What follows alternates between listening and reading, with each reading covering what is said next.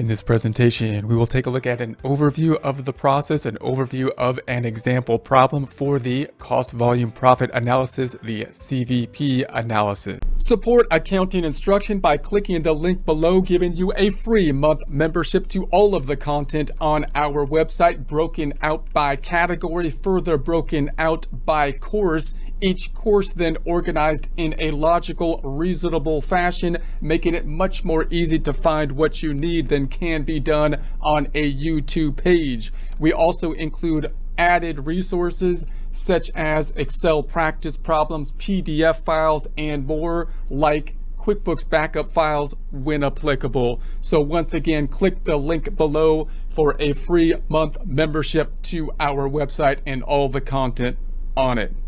Our goal here is to show both the power and the purpose of the CVP process, the cost volume process analysis. Remember, as we go through everything in the future, this is a managerial accounting concept, not required, a tool for management. Management can decide to apply it or not. What are going to be the benefits of applying such a cost volume profit analysis?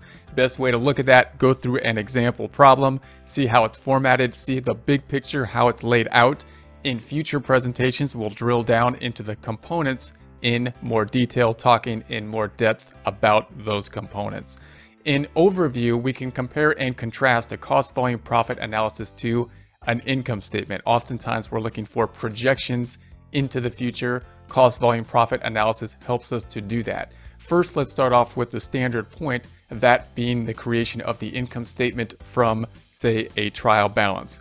We have the normal income statement, which is usually based on prior data, usually for external users, and is usually grouped by the function or what the use of the cost is. For example, if we take a look at our trial balance here, and we're just to create an income statement from it, we'll do this more in depth in future presentations, but I just want to point out that this trial balance is in balance. It's everything. It's the balance sheet and the income statement. It's, it's obviously doesn't have a lot of detail, but just note that we here, of course, are concentrating on the income statement.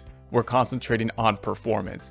This income statement will be more of the standard type of format, and then we will adjust it. It's coming from the same data to the CVP, cost volume profit type of format.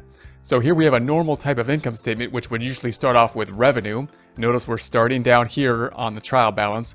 We're not dealing with the balance sheet uh, items in our example because we're focusing in on the income statement. Then we break it out by cost items or by function. What are the expenses? And we're grouping them by what they do. What's the purpose of expenses for a business to help us generate revenue? But also we want to put it in there by function. That's what we do in a normal type of income statement. In other words, cost of goods sold is the cost of the inventory. These are costs related to the cost of the inventory. They, we then have gross profit, revenue minus cost of goods sold, subcategory for manufacturing type of company typically. Then we have an operating expenses, starting with the selling expenses of operating expenses. Again, breaking out the expenses by what they do. What are they for? What, what's the purpose of these expenses? These are the selling expenses. Then we have the administrative expenses, again, broken out by what they do, part of the administration process. That's what they're for within the company for the ultimate goal of revenue generation. And then we're going to have uh, the total operating expenses. We'll calculate the net income and income tax, and finally, the net income. This is the standard format. Now, we have to do this for generally accepted accounting principles typically. This is the format that most people will want to see that are external users, therefore we must do it. We may want to change this, however, for internal use, especially when we're projecting out into the future, because these costs that are grouped by behavior will not change relative to the change in level of production as easily as we would like, and therefore forecasting with this format is more difficult. If we change the level of production, change things like the sales number that we're going to have, then this income statement is more difficult to calculate because of the grouping. Therefore, we're going to format this into an income statement, which we will typically call a contribution margin type of income statement. Same bottom line number, the 72,270, however, now breaking this out by uh, what the behavior of the cost is. So we'll start off with the revenue again, or sales, and then we'll break out variable costs as opposed to cost of goods sold and that'll give us the total variable cost. We'll discuss more what variable costs are later, but just note that it's being a grouping by behavior as opposed to being grouped by what they are for. In other words, this isn't cost of goods sold. These aren't items that are related to the selling of the inventory. These are items that behave in a similar fashion. In other words, they go up or down in a similar fashion with relation to increases and decreases in production. Again, we'll talk more about that later, but just note that difference between our analysis here, the different format of our contribution margin income statement. And then we're going to have the contribution margin, and this is in a similar place as the gross profit, but it's different because we're talking about sales minus the total variable costs, giving us the contribution margin. So the revenue line is the same. These are variable costs, however, not cost of goods sold. And then we're going to have the fixed costs. These items then are the fixed cost type items. We'll go into them in more depth in a future presentation, but just note that again, we're grouping these by behavior, by how the costs behave as opposed to what the costs are for.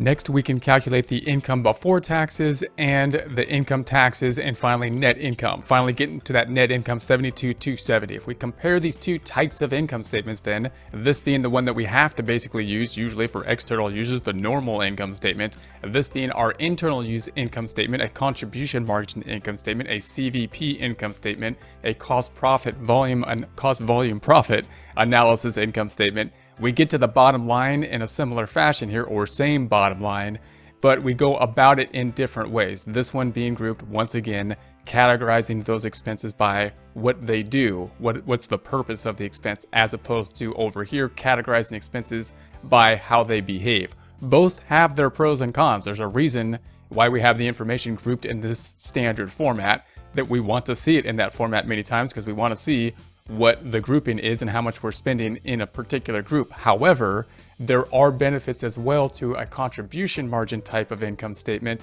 as we'll see. So what can we do with this contribution margin income statement? We know what we have to do. First, we got to make uh, this type of income statement, which means we're going to have to break our costs out into variable costs and fixed costs. And then we're going to have to reformat this information into a contribution margin income statement. And that's going to take some work. What do we get from it? Because it's not a requirement. It's an internal managerial accounting tool. Well, one of the things we can do with this is we can take this income statement and break it down to a per unit type of income statement. In other words, we can get to the sales, the variable cost, and the contribution margin per unit. And once we're there, we can then use this information to make projections a lot more easily. For example, if this is broken out by behavior, we could say that the revenue then is going to be the total sales. We're going to say is 1239750 divided by the number of units, 4350, and we get the uh, 285. So we're going to say the revenue per unit is 285. You can imagine if we sell things, of course, we're going to have a fixed sales price. That's one of the assumptions we have to make for this analysis, that we have a fixed sales price. But just note that if we make that assumption, we can say, okay, here's the revenue per unit. We could do the same thing with variable costs. And this is the key. This is what we can't typically do in a normal type of income statement. We could take the variable cost items and we could say, all right, this is the 247950 divided by the number of units, which is 4350. And that's going to give us the 57. So in this case, we have 57 for the direct materials. So that's what we're getting from this. We're going to break these costs out and we're going to break them out by behavior. And we'll talk more in depth about this type of behavior, variable and fixed. But see, this is going to give us a benefit. Then we have the direct wages also behaving the same, sales behaving the same. Those items gives us our total variable costs per unit. And then the sales minus the total variable costs is what we're going to give our contribution margin per unit which we could also calculate as the contribution margin total divided by the number of units 4350. That's going to be a useful number for the projection purposes. If we want to think about costs into the future, this is a useful number. Now you might say, hey, you, you made some assumptions there uh, when you did that. And we'll talk about some of the assumptions that are made for cost volume profit analysis and what we're going to do about that but just note this is a tool. It's going to be a useful tool for us. So we're going to move forward here. We can also have the contribution margin percent calculated as this number, contribution margin per unit, divided by the revenue number, or this number divided by the revenue, representing the contribution margin as a percentage. Once we have that, we can use our normal, our calculation to get to a break-even point. This is going to be kind of the starting point, is the first kind of question or one of the fundamental questions we would ask in business is like, well, how many units do we have to sell to basically break even, to, to cover our costs? Once we have our costs broken out between variable and fixed costs, we could start off with the fixed cost. We're going to say, all right, there's the fixed cost, 388, 500. And if we divide that by the contribution margin, here's the contribution margin, the 117, we could say that the break-even point is 3,321. So let's think about that in a, a little bit more in depth. If we have the fixed costs, something like the rent, things that don't change with the level of production, they are what they are. This is what it is doesn't change with the level of production. Contribution margin per unit, as we see, is revenue per unit or sales per unit minus the variable costs per unit. In other words, 117 in this example is how much we are earning, how much profit, how much we're going home with after variable costs, not including the fixed costs. So this is how much we're going home with until, of course, we have to save that up to pay the rent or the fixed cost. That's a simplified example. There's more than just the rent and fixed cost, but that's going to be the idea. So now we are we're generating this much revenue, or this is how much we're going home with, the net kind of profit, the contribution margin per unit, and we divide that into the fixed costs, things like the rent, and we say, well, this is then is how many units, 3,321, which we must sell in order to cover the fixed costs. In other words, that's our break-even point in units. That's what's going to give us a zero net profit that's a good starting point because then we can start from there and start to calculate our profit number. And we can also think of our break-even point in terms of revenue. What, there's a couple different methods, but one method, obviously, if this is how many units we have, and the sales price is 285, we multiply those out. That means that our break-even point in terms of dollars, the revenue, the sales we need, 946, 346. Now let's consider forecasting.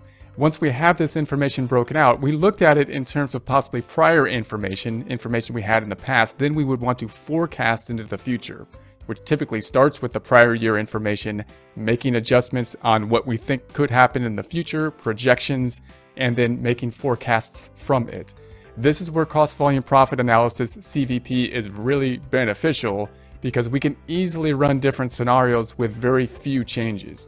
So in other words, if we just adjust the number of units that we expect to produce and sell, we can set up a worksheet to uh, help us with projections into the future that is far less complex than one we would have to create in a normal type of income statement because we broke out the costs between fixed and variable because we're looking at this information by cost behavior as opposed to the grouping of costs by what they're used for. So a forecast will look something like this, similar kind of uh, contribution margin income statement. However, now we're forecasting into the future for it. Uh, so what we're going to say here is if I predict, predict then that the units that we're going to sell are 3,321, which was our break-even point last time. So in essence, we're testing our break-even point. Then we would have the total revenue per unit, 285 times 3,321 gives us total revenue 946,346. Uh, so we've just, th these are the two numbers.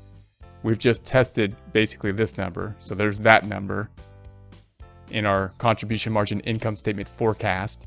And then we've got the total variable costs per unit, which is the 680 or the 168 times the number of units, 3321. That gives us our total variable costs. If we multiply those out, contribution margin then we could do this two different ways. We could say it's the 117, 117 times the 3321 units gives us 388,500, or we could take total revenue minus the variable costs to give us that 388,500 as well. If we look at our fixed costs, then in this case, they're going to be the same as the, the contribution margin because this is the break-even point resulting in the forecast profit or net income forecasted before uh, taxes of the zero. So this then is our break-even point. The beauty of this worksheet is that we can then calculate a profit much more easily. If I just change this one number, because of the simplicity of this, because we broke it out by behavior of costs, we can then work this through the worksheet very easily and come up with projections very quickly. So if I change this number, for example, to 4,000, then we just change these items in an Excel worksheet, a very pretty simple Excel worksheet, which we'll take a look at. We'll then generate the new numbers, and here's the bottom line. Here's the 79,500. If I change this to 5,000, here's our bottom line number. If I change this to 6,000, here's our bottom line number. Everything will adjust for us. 7,000, here's our bottom line number, and so on and so forth. Uh, 8,000, and we can run the comparisons and do the side-by-side -side comparisons. You can think about scenarios saying things like, well, what if I increase the fixed cost for something like advertising, and then I figure that I'm going to sell more units from 4,000 to 5,000 because of the advertising? well, there's a lot less factors we need to change in a CVP type of analysis when we start doing these projections than if we would have a normal type of income statement. When we start changing the units, when we start thinking about different scenarios and increasing capacity and adding things, then in a normal type of income statement, all those kind of projections is a lot more complex to work through because the income statement is not broken out by behavior of costs. Here, because they are broke out by behavior of costs, it's a lot easier. Now there's assumptions we have to make to do this. We'll talk a bit about those and we'll go into some more depths about some of these components that we've been talking about in overview in future presentations.